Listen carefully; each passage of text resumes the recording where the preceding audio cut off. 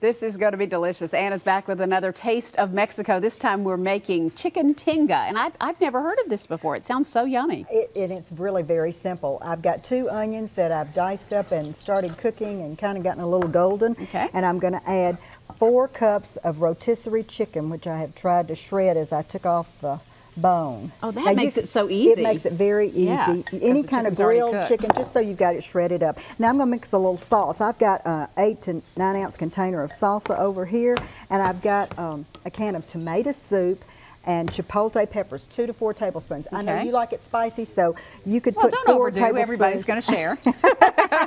but this this is just kind of a medium sauce that I've used, and we're going to stir that in. This is just one of the many recipes that Kroger is offering at all the stores nationwide to offer a fiesta flavors, a taste of Mexico, so people who don't make Mexican at home can show how easy that the recipes are. They can actually sample them, get the recipes. Nice. There's all kinds of giveaways going on, going on, either on the website and at the store. And they've actually got samplings this weekend at the stores on Saturday and Sunday oh, at all the stores. Great. So that ought to be kind of fun. I looked at the website. They're giving away a trip to Mexico yes. and a diamond ring and free all groceries. All kinds of fun and, stuff. Yeah. So check out the website or look at the store. And this goes on through June 24th.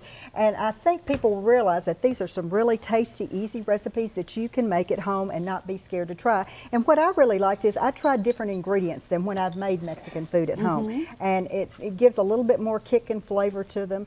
And um, so I will definitely try both of these recipes that we've done today. I think we're going to have a Mexican fiesta celebration when we get through.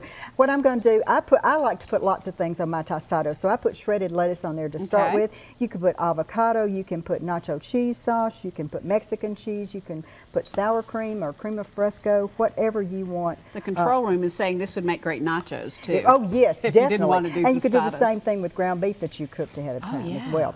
But but the final um, dessert was out of this world and I knew Leland would like this because it is a chocolate sauce and I've taken puff pastry, cut it in strips, baked it and brushed it with butter and had cinnamon sugar and you dip it in the chocolate sauce oh, and boy. I have sampled all these recipes and I can attest to the fact that they are delicious. I might not be quite as big of a chocolate uh, lover as Leland is, but I do like it. See, I've had churros before, but I've never had them dipped in chocolate. Do I dare? Uh, Can yeah. I still talk after I do this?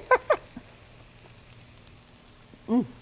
We've got these online at oh, the yeah. website of Talk of the Town, so you can go on there. You can check mm. them out at the stores or on Kroger's website. So enjoy a taste of Mexico at home with all these delicious recipes and ingredients. And all these ingredients are on specials at Kroger, so check it out. Oh, in the ads and at the stores, they've got tags that say this is a special price. So take advantage of these uh, weeks to really enjoy something flavorful with Mexican. I definitely want to try this. This is so, so good. And thanks so, so much. You fed us really well today. We appreciate Thank it. You. It's recipe number 5186. You'll get all three of these recipes online now in the Talk of the Town recipes page at newschannel5.com.